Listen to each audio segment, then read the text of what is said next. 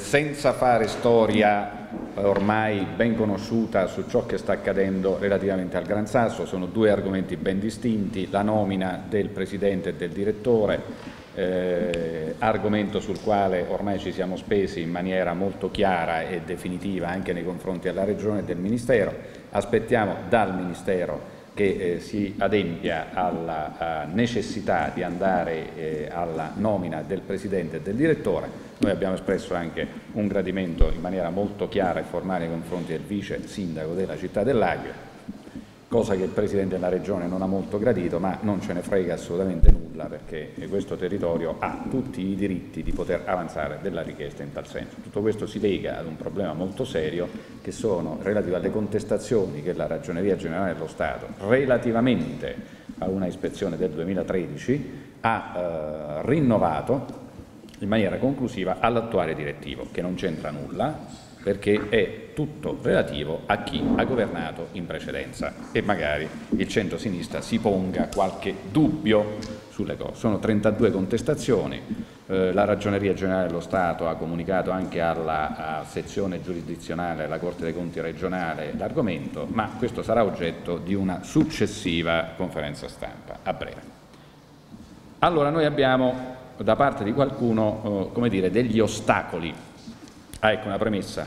Eh, guardate, chi scrive eh, perché non ero al voto eh, la sera che sarebbe andato sotto la maggioranza. Allora, guardate, io credo che ci voglia neanche un bambino si sarebbe posto il problema, perché è evidente la stupidità politica di tale affermazione. Uno, Mai e poi mai io avrei votato qualcosa che blocca lo sviluppo del Gran Sasso, proposto da Rifondazione Comunista, perché quello era l'effetto prodotto, quindi il Comune sarebbe andato a bloccare e poi dico anche perché questa cosa sarebbe stata così stupida, in particolare da parte mia, di Rifondazione Comunista. Secondo, ammesso e non concesso che fosse andata sotto la maggioranza, il prodotto sarebbe stato tale e quale a quello si è verificato, cioè Perilli azzerato e la maggioranza resta in tonza così com'è. Perilli muto, muto, sta zitto, il direttivo di rifondazione ha detto abbiamo un confronto col sindaco, ma la maggioranza resta così com'è.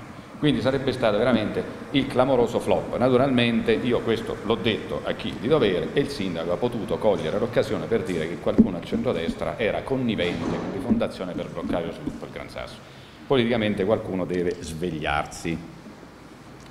Detto questo, perché sarebbe stata anche una stupidità? Vedete questa? Perché poi la gente non si ricorda mai il passato. Il passato è sempre alla base di ciò che è oggi e di ciò che sarà il futuro.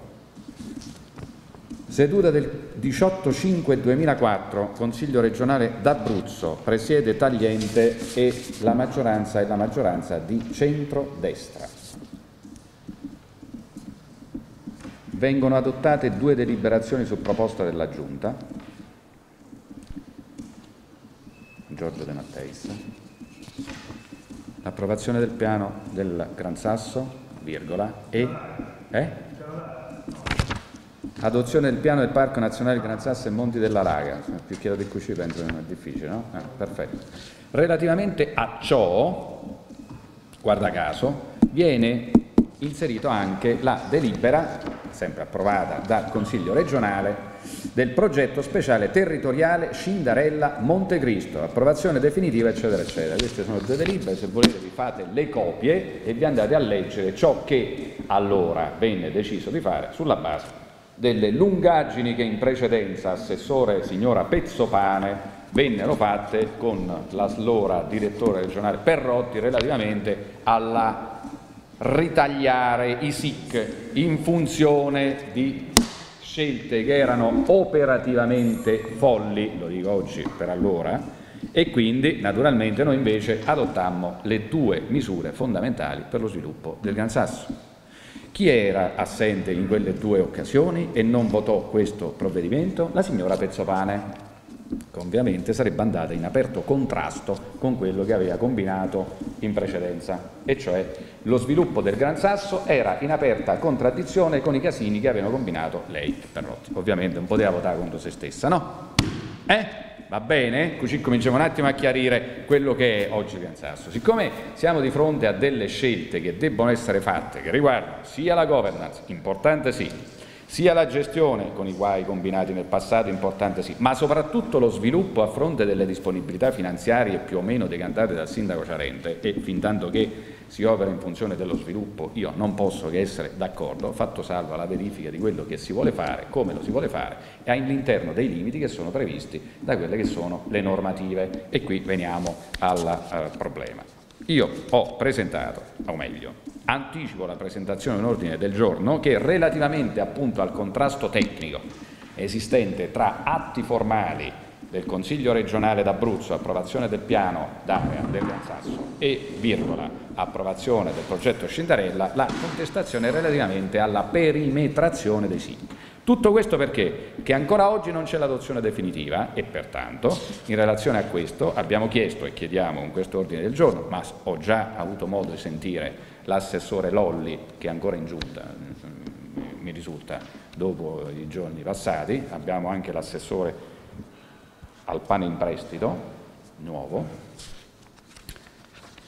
la novità che avanza e con questo ordine del giorno ovviamente sulla base di quello che vi ho appena anticipato impegniamo il Sindaco e la Giunta a farsi parte attiva nei confronti della Regione Abruzzo, ho già anticipato che ho parlato con l'assessore Lolli che ha anche la delega non ai parchi perché ce l'ha lo smilzo di Pescara, ma ha la delega all'Abruzzo appenninico. Poi dal Presidente della Regione dovremo un giorno capire eh, queste deleghe come sono fatte, perché sono la sovrapposizione di cioè gli assessori hanno deleghe che si sovrappongono l'uno con l'altro, quindi il lavoro, le politiche del lavoro tra Gerosolimo e la Sclocco, l'Appennino italico, perché ci sta pure un Appennino austriaco con eh, il, eh, i parchi, non si capisce. Vabbè, morale della favola, l'ho chiesto al vicepresidente della Giunta di eh, muoversi, e lo sta già facendo, in relazione a una re eh, o meglio, eh, la Regione deve attivare le procedure previste per legge per una eh, modifica della perimetrazione dei SIC. Se poi vogliamo aggiungere un piccolo dettaglio, basta con questa piccola resumé, riassunto di come sono stati individuati i SIC in altre aree, basta vedere come per esempio in altre zone d'Abruzzo siano stati ritagliati i SIC escludendo, guarda caso, le aree dove incidono gli impianti va bene? Cioè uno normale lo fa in funzione di questo, anche perché ciò permette adeguamenti, eccetera, eccetera, eccetera, in maniera molto più snella, va bene? C'è anche questo, vabbè comunque, queste le sapete, è inutile che stiamo a fare, basta vedere per esempio eh, Campo di Giove le piane, eh, guarda caso eh, non, dove non sta il SIC e dove stanno gli impianti, a Campo di Giove stiamo dicendo, eh. sopra a Granzassi invece li abbiamo piazzati ovviamente dentro perché noi siamo più e riperimetrazione dei SIC sì. comporta, eh, c'è una scelta che nel caso che fanno la regione o deve coinvolgere anche il Ministero? No, poi va trasmessa, è chiaro, certo, attivi le procedure, ma prima che poi diventi definitiva, perché se poi diventa definitiva il problema è chiuso.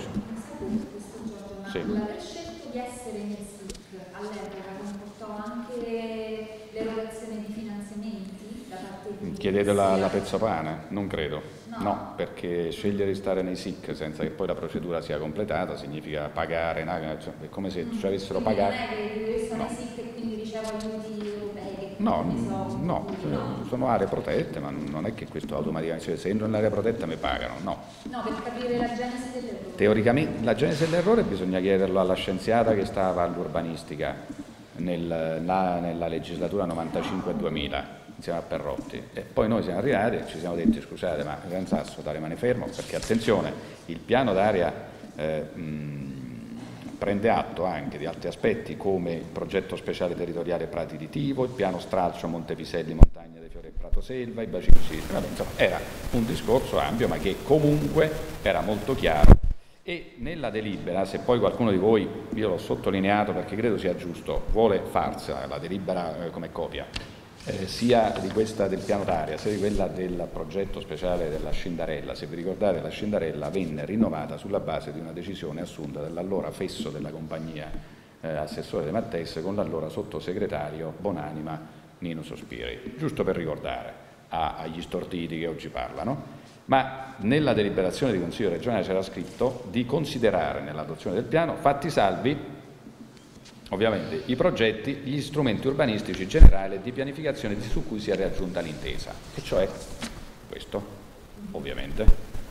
Chiaro, no? Quindi ciò che aveva fatto la Pezzopane era evidentemente in aperto contrasto con quello che invece il Consiglio regionale aveva approvato. È chiaro che a questo punto noi chiediamo che la, giunta, eh, la, la, la giunta regionale eh, si adotti, eh, adotti eh, le misure necessarie per fare in modo da evitare che eh, i prati, succede anche in una zona del Teramano di tiro, ma in particolare, visto che stiamo parlando del Gran Sasso, si eviti un inutile contenzioso e un inutile problema legato a questa situazione.